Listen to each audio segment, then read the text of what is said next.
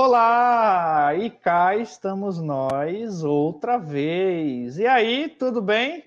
Tudo legal com você? Tudo bacana com você? Comigo também. Estamos aqui juntos, juntas mais uma vez, para aprender. Pois é. E aprender o quê? Aprender a maravilhosíssima matemática. Aprender mais um pedacinho dessa fantástica ciência, né? Encantadora e fascinante matemática. E todos esses elogios que eu estou fazendo à matemática aqui vai fazer sentido nessa aula. Pois é, eu trouxe aqui para você uma coisa muito bacana. Eu espero que você goste, tá? Bom, é de costume a gente fazer a nossa apresentação, né? Eu sou o professor Iago Ramos, sou professor de matemática, venho lá da Escola Municipal Faustino Dias Lima. Bom, eu tenho pele branca, cabelo preto, estou vestindo uma camisa preta, por cima um jaleco branco, atrás de mim o cartaz da Secretaria Municipal de Educação de Feira de Santana, tá bom? Mas o que é que a gente vai aprender nessa aula? Tá aí na tela, a gente vai aprender a representar a ideia de variável como quantidade desconhecida através de uma letra ou símbolo. Mas como assim, professor? No final da aula, isso vai fazer sentido para você e a gente vai aprender isso aí de uma maneira que eu espero que para você seja muito encantadora, seja muito fascinante, porque para mim, para mim é, disso eu tenho certeza. Mas tenho também muita certeza de que será para você, tá bom? Então vamos fazer assim, vamos sair dessa tela, vamos para o nosso quadrozinho virtual aonde as coisas vão acontecer. E eu vou trazer para você nessa outra tela que vai aparecer já já algo algo chamado de matemática. Matemática? Será que você já ouviu falar sobre isso? Bom, eu acho que você já deve ter raciocinado aí, pensado matemática talvez seja aí uma mistura de matemática com mágica, professor. É isso? É por aí. é por aí. A nossa aula de hoje vai ter um pouquinho, né, de mágica usando matemática para deixar o conteúdo mais interessante, né? Bom, que a matemática é uma ciência encantadora, disso eu, você, todos nós sabemos, não é verdade? Bom, eu acredito que você disse que, de fato, a matemática ela é encantadora. Bom, e como é que a gente percebe isso? Basta a gente olhar os belos padrões que a gente vê na natureza. Na natureza tem muita coisa bacana, muito, muitos padrões que são lindos, fantásticos e tem toda uma matemática por trás, né? Por exemplo, a colmeia das abelhas. Você sabe como é que uma abelhazinha constrói uma colmeia? Por que, que ela constrói a colmeia naquele formato? Tem toda uma explicação matemática por ali, né? E tantas outras coisas que a gente não vai falar, né? Porque eu quero fazer com que essa matemática hoje fique muito mais interessante para você.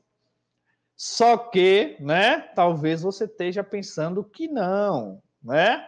Mas espero que no final dessa aula você mude de ideia, tá bom? Então veja só, porque, né? O que é que você pode fazer agora para ficar interessante também? Você pode pegar também um lapisinho, uma calculadora, um papel e quem sabe fazendo as coisas aí, fazendo suas anotações para que você consiga é, deixar isso registrado e fortalecer o que você está aprendendo nessa aula, né?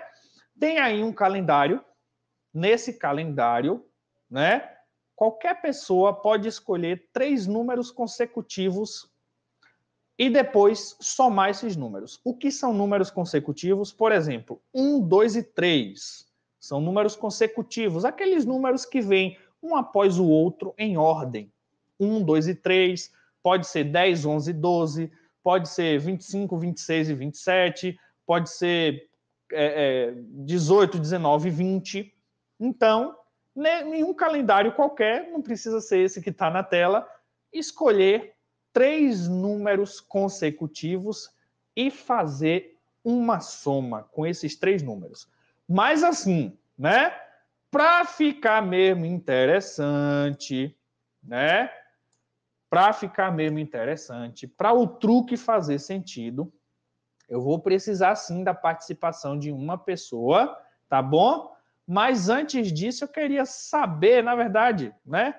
Eu queria que você pensasse: será que você acha que é possível eu adivinhar os três números que a pessoa escolheu no calendário? Será que você acredita nisso? Eu vou dizer para você aqui agora. Eu consigo adivinhar com qualquer pessoa os três números que ela vai escolher no calendário, certo? Então, né? Vamos fazer esse truque, vamos fazer a coisa acontecer aqui e agora. Então, para participar, né, desse momento, eu vou convidar o nosso querido Jonatas Azevedo, que está aqui em nossa aula, fazendo um trabalho fantástico de interpretação, né, em Libras, e ele vai nos ajudar aqui agora, tá bom? Desde já, quero deixar claro que eu não sei quais são os números que o Jonatas vai escolher. Eu não sei, tá? A gente não combinou isso, tá acontecendo aqui agora. Então ele vai pensar aí em três números consecutivos no calendário e ele vai fazer uma soma. O resultado dessa soma ele vai me dizer e vai dizer para vocês, tá bom? Então eu vou deixar aí um tempinho com o Jonatas para ele pensar nos três números que ele quer, fazer a soma e me dar o resultado.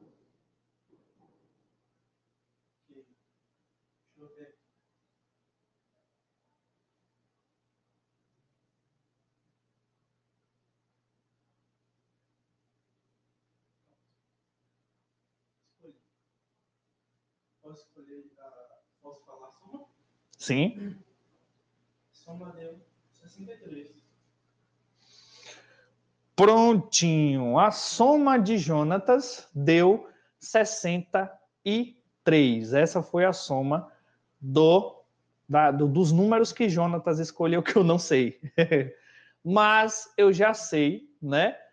Qual é o os números que o Jonatas escolheu. Então, eu vou falar é, os três números, Jonatas, e você me confirma se foram esses três números que você escolheu. Jonatas, os números que você escolheu foi o número 20, 21 e 22. Correto? Certo. Correto. pois é. Mas como assim, professor? O senhor conseguiu adivinhar os três números que ele escolheu eu consegui adivinhar os três números que ele escolheu. E você deve estar se perguntando aí, mas como será que o senhor conseguiu descobrir?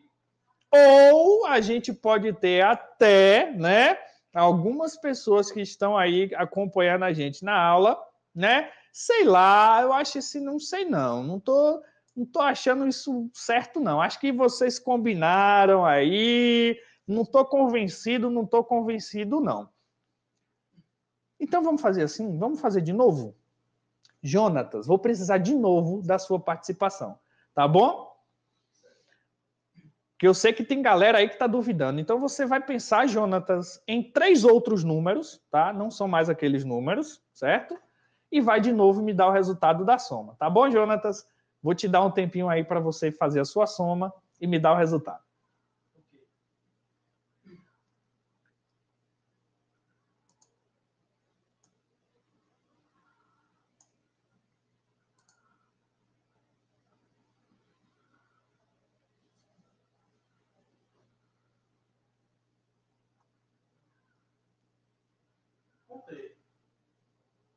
Soma deu 87.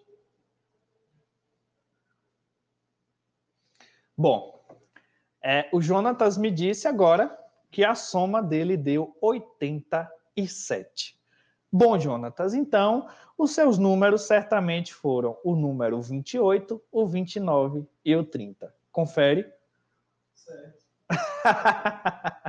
o Jonatas acaba de confirmar que sim, eu consegui adivinhar os três números que ele pensou, tá? Ele não me disse, gente, ele de fato pensou aí onde ele está, junto comigo aqui, fazendo a aula acontecer. Pois é, né? Pois é. E aí, a matemática é bonita ou não? Bom, E que tal se você pudesse fazer isso com outras pessoas? Você quer saber qual é o truque de adivinhar esses números, né? Será que agora você está duvidando ainda de que é possível fazer isso? Bom, venha só comigo aqui, ó, para você não ficar achando aí que eu e o Jonatas a gente combinou o que ia acontecer aqui e a gente não combinou, tá? Eu vou fazer aqui com você usando alguns números, certo? Então vamos fazer assim, ó. Se até aqui você não acreditou, a gente vai agora, a gente vai acreditar, certo? Vamos fazer uns testes aqui com alguns números. Vem comigo, tá bom? Então vamos supor que os números sejam. Eu vou pegar aqui 5, tá? Vou pegar o número 5, vou aumentar ele. Vamos botar ele maior, né? Deixar ele assim grandão. Pronto, vamos pegar o número 5 Vamos pegar o número 6 e vamos pegar o número 7. Digamos que uma pessoa pensou nesses três números, 5, 6 e 7, tá bom? Então veja só que isso funciona de verdade, tá?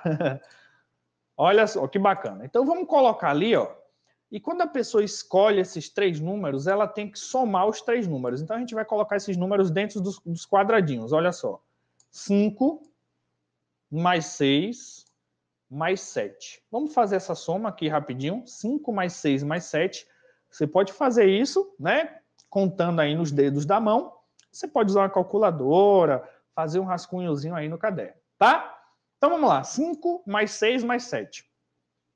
5 mais 6 dá 11. 11 mais 7 dá 18. Então vamos trocar essa interrogação pelo número 18. Aqui embaixo tem uma informação, ó. A soma sempre será um número divisível por 3. O que é um número divisível por 3? É aquele número que você faz dividido por 3 e a divisão é exata, o resto é zero. Quer ver só? 18 dividido por 3 dá quanto? Faz essa continha.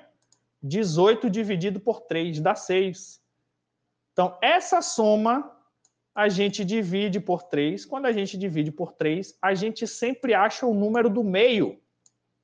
Achando o número do meio, já que os números são consecutivos, a gente descobre qual é o número que vem antes, antecessor, e o número que vem depois, o sucessor. Pois é, bacana, né?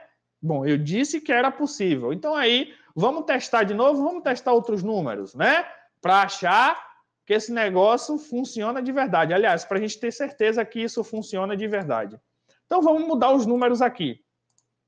Vamos pegar números maiores. Vamos pegar aqui. É...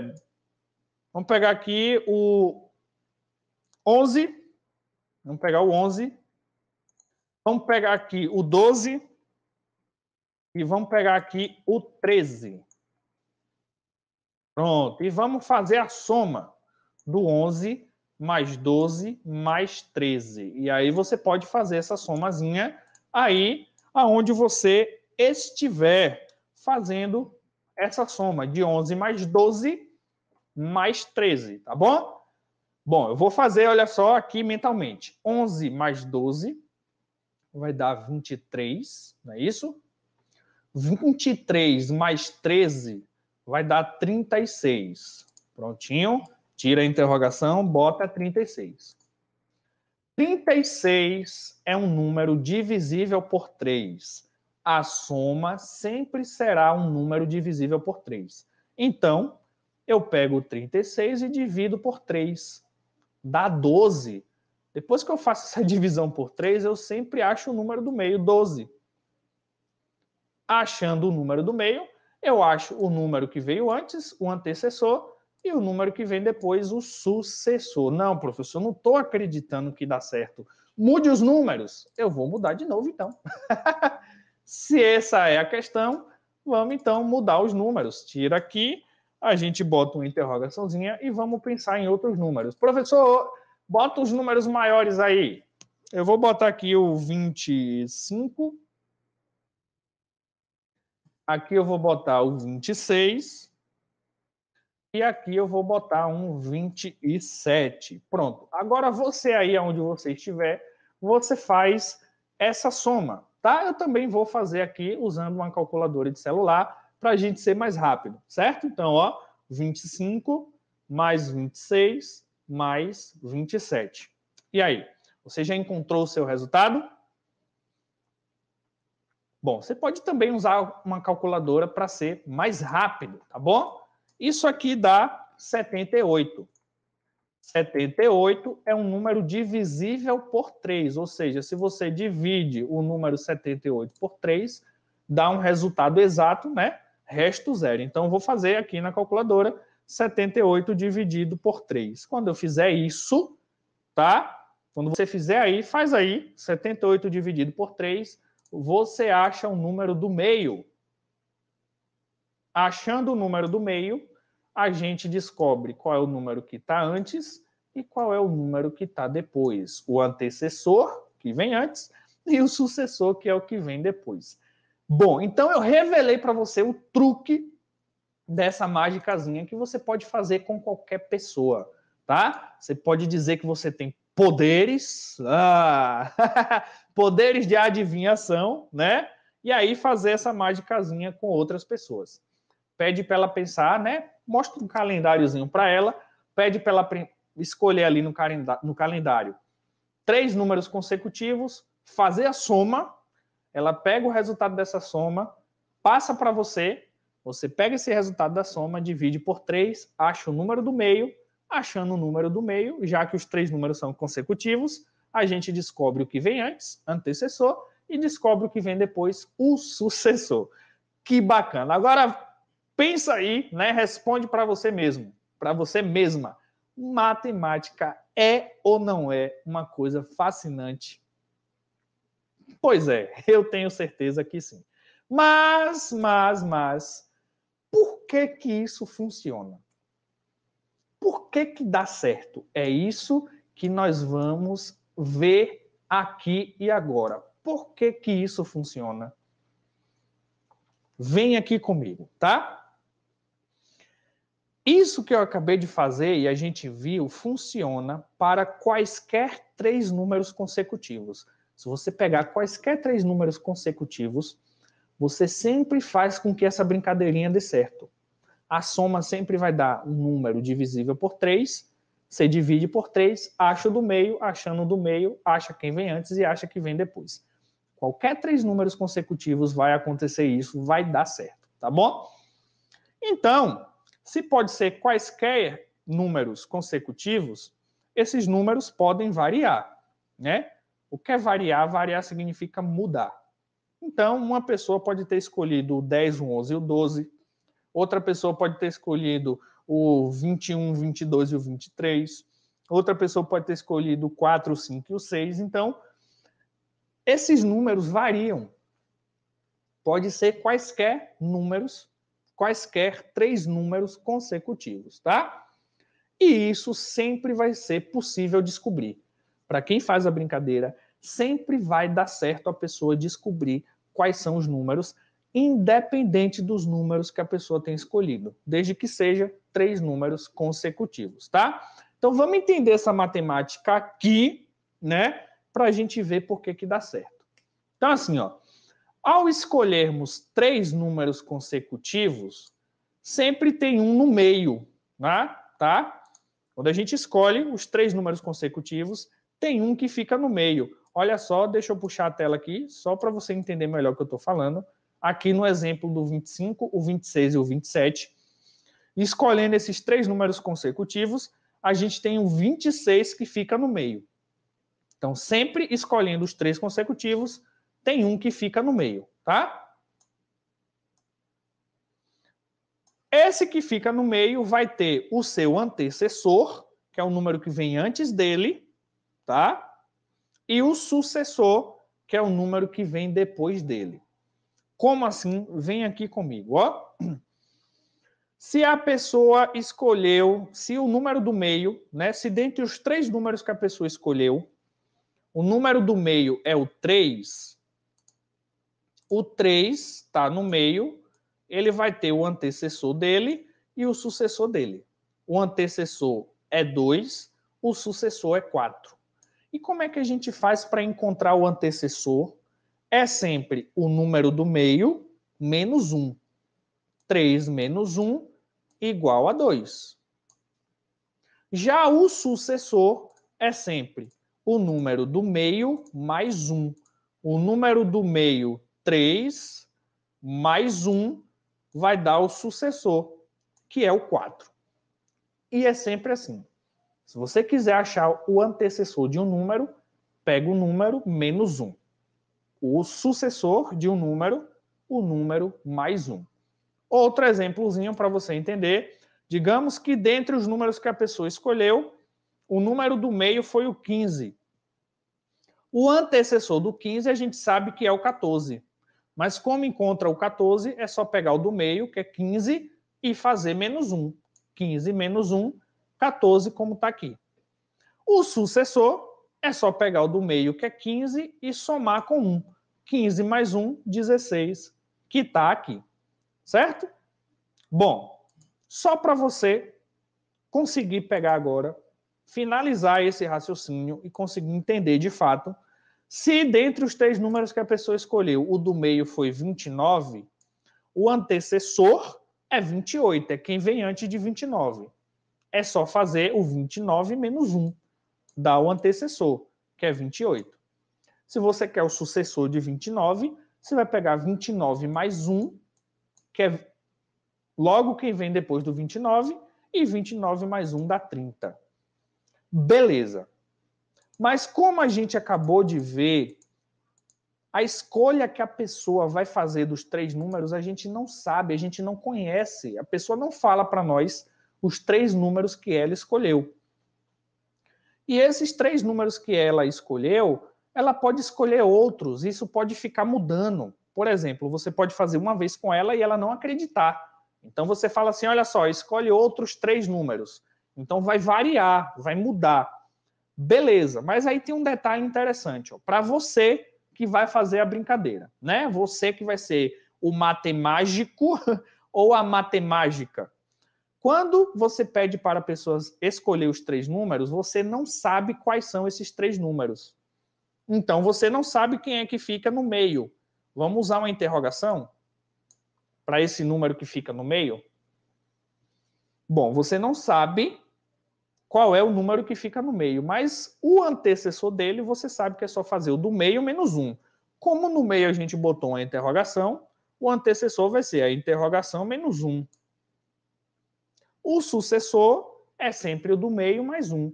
Como no meio a gente colocou a interrogação, o sucessor vai ser a interrogação mais um. Mas, sei lá, ao invés da interrogação, a gente pode usar algum outro símbolo. Eu usei aqui uma estrelinha, por exemplo, né? Eu não sei quem é o número, então eu vou usar um símbolo para representar esse número. Eu usei uma estrelinha. Então, digamos que o número do meio, eu não sei quem é, então eu posso chamar do que eu quiser, eu estou chamando de estrelinha, né? Ele fica no meio, o antecessor dele é ele menos um, no caso, a estrelinha menos um.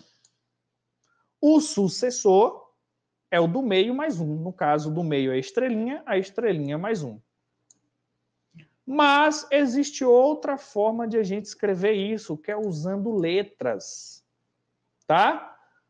Quando a pessoa escolhe os três números, ela não fala para você, você não conhece esses números. Esses números que você não conhece, você pode, ao invés de símbolos, usar letras para ficar no lugar desses números que você não conhece. Então, aqui no meio, eu chamei esse número de n. O antecessor dele, né, é ele menos 1. Então, n menos 1. O sucessor dele é n mais 1, né? É o do meio mais 1, então fica n mais 1. Bom, o que é que eu estou querendo trazer para você nessa aula, com toda essa brincadeira que eu fiz, para te mostrar que existe uma parte na matemática, né, que envolve cálculo com letras. E é essa parte que está aí, ó, dentro de um retângulozinho lilás, tá? Então tem uma parte da matemática que envolve cálculo com letra. E essa parte da matemática, ela é chamada de álgebra, né? Tá bom? Bom, e quando é que a gente vai usar essas letras?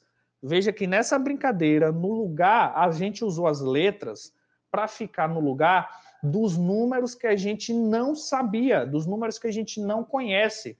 São valores desconhecidos. Então, na matemática que envolve cálculo com letra, as letras vão surgir para ficar no lugar de números que a gente não conhece, tá? Então, a ideia da nossa aula era essa: representar por meio de uma letra. Essa letra aí é variável, muda. Muda como assim? Os números que podem ocupar o lugar dessas letras. Pode ser qualquer número, pode ficar mudando, como nessa brincadeirinha aqui, cada pessoa escolhe os três números, muda de uma pessoa para outra, e essas letras vão ficar no lugar dos números que a gente não conhece. Então, será que você conseguiu perceber isso direitinho? Então, a matemática tem essa parte que envolve cálculo com letra, e a gente usa a letra para ficar no lugar dos números que a gente não conhece, dos números que não são dados para a gente, de quantidades que são desconhecidas para nós, tá bom? Então, o objetivo da nossa aula aqui era esse, era chegar aqui aonde a gente chegou. Beleza? Então vamos fazer assim, vamos mudar de tela, tá? A gente muda de tela para poder finalizar essa aula, que eu tenho certeza que você deve ter gostado, que você curtiu e que você vai fazer essa brincadeirinha com outras pessoas, não é verdade? Então vamos lá. Bom, eu curti, espero que você também, e o objetivo da nossa aula foi conhecer essa parte da matemática que envolve letras, tá? Que é a chamada álgebra, e o objetivo maior, que foi aonde a gente estava concentrado em aprender, que é representar quantidades ou valores desconhecidos usando símbolos ou letras, tá? Então, na matemática, a gente não conhece um valor, não conhece alguma quantidade, a gente usa letras no lugar deles. Belezinha? Massa? Bom, mas você pode aprender e, na verdade, né, eu quero, né, que você aprenda com mais um truquezinho que vai envolver números. Olha só, eu trago esse outro truquezinho aqui para você. Você pode testar aí, fazer com você mesmo, com você mesma, e pode usar esse aí também para fazer com outras pessoas. Como é esse? Você vai escolher um número entre 1 e 10, vai pegar esse número, vai multiplicar por 9. Caso o resultado dessa multiplicação dê um número de dois algarismos, por exemplo, 18, 27, 36, esses números têm dois algarismos, o que é que você vai fazer? Você vai somar os algarismos. Por exemplo, digamos que o meu deu. Vou pegar aqui um exemplo. Vou pegar o número 4, entre 1 e 10. Peguei o 4. Multipliquei por 9. 4 vezes 9, 36. 36 tem dois algarismos. Aí eu somo eles dois. Eu somo 3 com 6, que dá 9. Depois, no final, é só somar 4. O meu deu 9, 9 mais 4, 13. O número que você vai encontrar vai ser sempre 13. Eu posso te garantir isso, tá? Então, testa com você, usa isso com outras pessoas, tenta, tenta ver se você consegue depois representar isso daí usando símbolos ou letras. Por quê? Porque o número que a pessoa escolhe você não conhece, então você pode usar uma letrinha no lugar. E aí, ó, esse número, essa letrinha multiplicado por 9 e assim vai, tá bom? Bom, tenta aí que eu tenho certeza que você vai conseguir chegar em algum lugar. Beleza? Massa, show de bola. Então, ficamos por aqui, aguardando a nossa próxima aula. Até a próxima e não esquece, matemática não é problema, matemática é solução. Valeu.